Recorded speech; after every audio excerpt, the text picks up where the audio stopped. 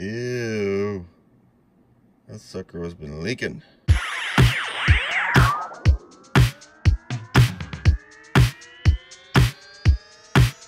Hey guys, this is my Xbox One, the original Xbox. Today we're going to be taking the clock capacitor out. And this one was manufactured October 10th, 2002. I've done some major upgrades to this sucker, starting with its Xecuter 2 mod chip, the mod inside Jewel. Um, I think this is 0.03 millimeter aluminum. Um, the original, you know, the original Xboxes are all the big black X and it had a green kind of Xbox dome in here.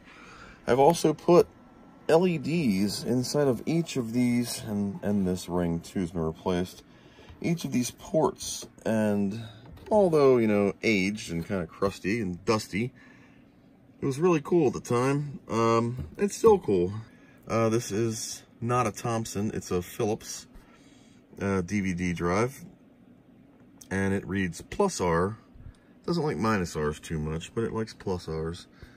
And today we're gonna take it apart and do the, uh, the capacitor.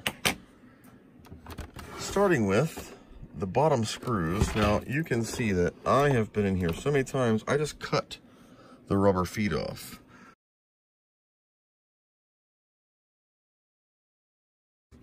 Now, I have a blue piece of paper in here because there is a on-off switch the light. And you can see it's a, a, halo ring light. This is separate from the Jewel. This just fits around it. It was not part of it, but it just fit, so I used it. I don't even know where my original Jewel is. So this is just some mirror construction paper. And this is a 250 gig drive. Um, IDE, but we need to strip this sucker down. I uh, never used my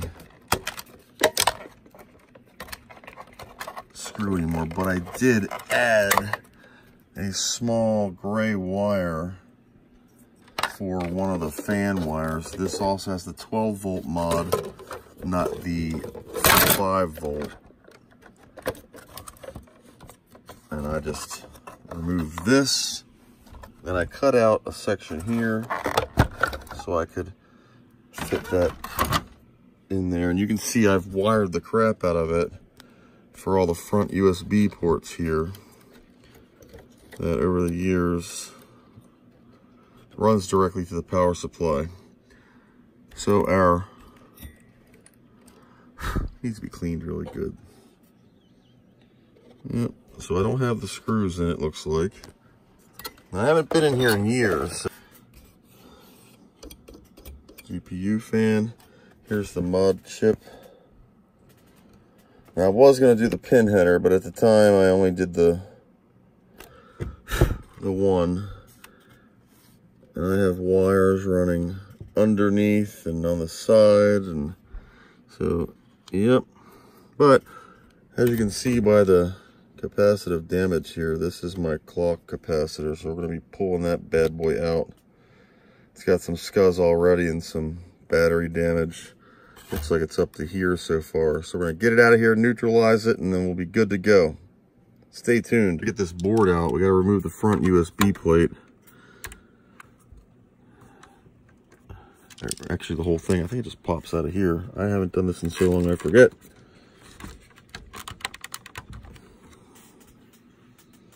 Let me get back to you. The front just pops off. You stick a screwdriver in here and pop this down. Um, pulling up on this board right here, we unplugged the Xecuter 2 front panel, flipped it to the side here, and now we're going to remove all the motherboard screws. I did take one out.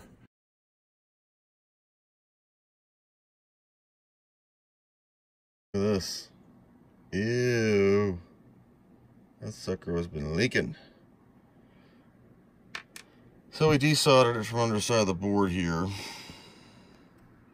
just with a little bit of braiding and heat and it pops right out. So with that, we're gonna take some IPA. We're gonna get my solder station, ouch, out of the way. And we're gonna give this sucker uh, a cleanup in slow motion. So anyway, here I'm I'm isolating the board. I, I did record this, but I think I did the whole damn thing in slow motion. I was wondering what was going on with the focus. So this area I removed, uh, we had some crustiness right here near the tip of this toothbrush or right in right in this area.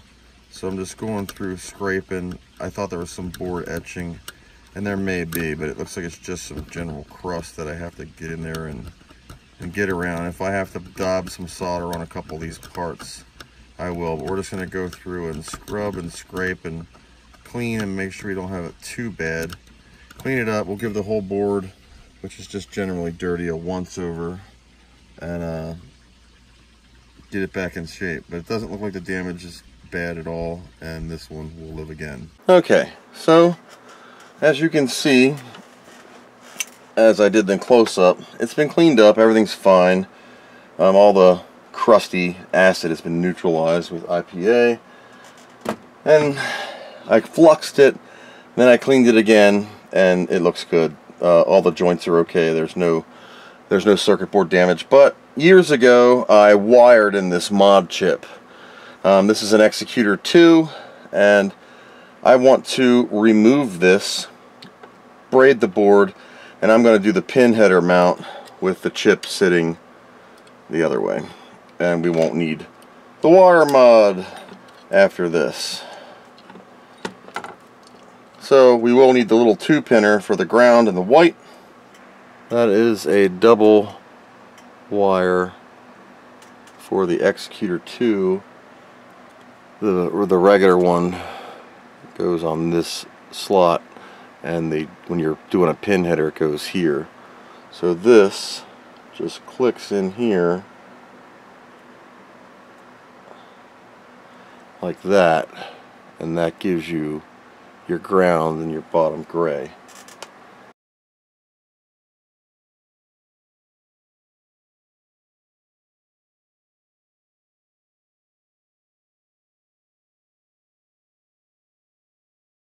There we go. So with our pin headers clear, we're going to need six, but you're going to knock one of the pins out. So just going to count off two, one, two, three, four, five. That way you'll have your pin header will sit right in here now. Ta-da, just like that. Right here. And now we'll flux and solder these in on this side. So I'm going to run a bead. And then we're going to pop some on there. Don't worry about too much flux, because it's not going to hurt.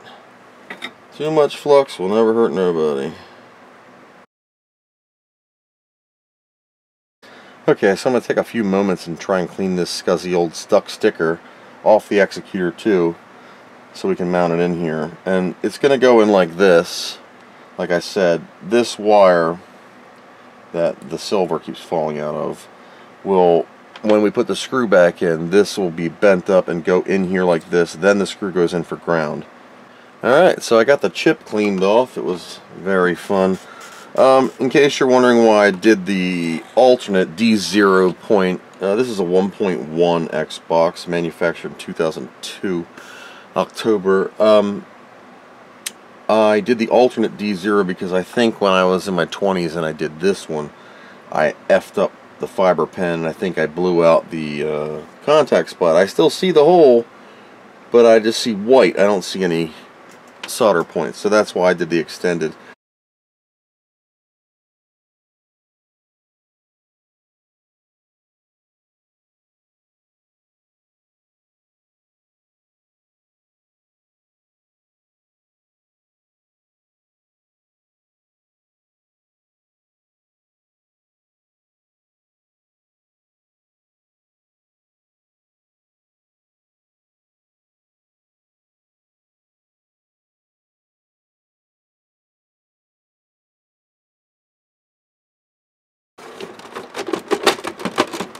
There we go. Okay, so what does it look like when it's uh when it's on? Let's go uh, power it up, test it out. Is I don't have the screws in here yet because just in case I screwed something up and it doesn't work, I can take it back apart. So we have the RGBY component, PR, power. We're going to slide this in. Now I do have the the case lights on for the cabinets here, but I'm to I'm to plug a controller in. There we go. You see the mod inside ring lights up. Plugging a controller in here. You'll see a light right here. And on my TV screen, got Xbox. The Xecuter 2 live screen is loading. And there's my Slayer's D-Box. And I can you know, go to all my game trainers and, you know, run through them. And I've seen this Windows CE, Next Gen, System Management. This is a custom uh, menu I made long ago, or the mod chip light on. If I plug it into port 2, port 2 will light up. If I plug it into port 3 or port 4, it would light up. These are just USB. You can use them on any port, but is port 1, and I'll put it back in. I'll put the screws in in a minute. Okay, so here we go. We're going to launch system management MS dashboard. So we load the MS dashboard from Execute Evolution X and that way I can go into settings and set the time because it's the year 8907 next. Well you do the back start and the other two buttons like the L, the, the these two on the Mini and then the two top triggers. So start back and L2 or L1 R1 and it will reboot the Xbox mod inside. So it's back in business and we're good to go. You can see the reflection of the, the cabinet LEDs above.